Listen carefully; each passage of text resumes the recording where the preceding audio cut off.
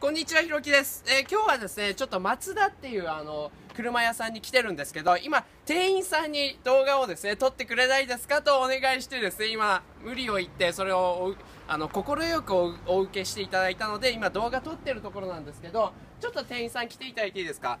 あの、ちょっとこの車がですね、さっきから気になっていて、あの、欲しいなと思ってるんですけど、これおいくらくらいでいらっしゃいますか、これは。えっと、これはあれですね。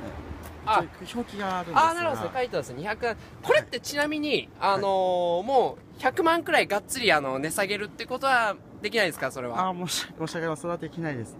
えあのそうですかじゃあはいなんか100万無理だったらなんか80万円くらいとかでもあー、えっとちょい高いですかあのーどのくらいだったらまでだったら値下げられるそうです。あの、やり方によってとかオプションにもよるので、全体的はない。総額からちょっと引かせていただくっていう形になるんでが。ですすね。ちょっとあれですね、はい。あのーまああれですね。ちょっとこれ買いたいなと思ってるので。あーありがとうございます。はい、まあそうですね。これいいなと思ってるので。そうですね。中とかもえー、とまあすごい気に入ってるのでいいなと思って。あーありがとうございます。はい。なのでちょっと買いたい。で今はちょっともう買いたいなと思って。こういう感じなんですねいやーありがたいですね。こんな感じです。